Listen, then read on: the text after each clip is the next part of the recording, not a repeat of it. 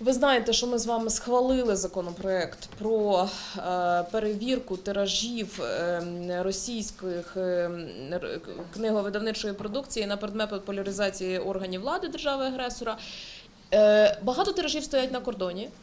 Але не менш багато тиражів, які ніким не перевірялися, піратським способом і контрабандою завозяться в Україну.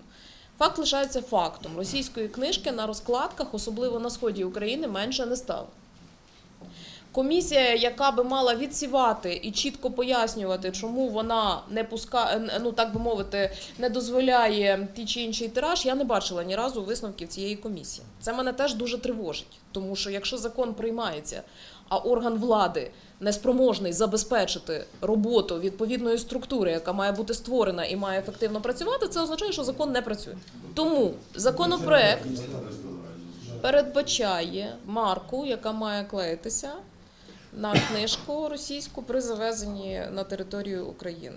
Я ще хочу порадитися з економістами, які є фахівцями да, в, в контексті податкової політики в першу чергу, яким чином ми можемо а, тут боротися з контра... вирішити проблему контрабанди російських книжок і простимулювати українське книговидавництво. Якщо будуть якісь ідеї, а, теж прошу про, про це повідомити.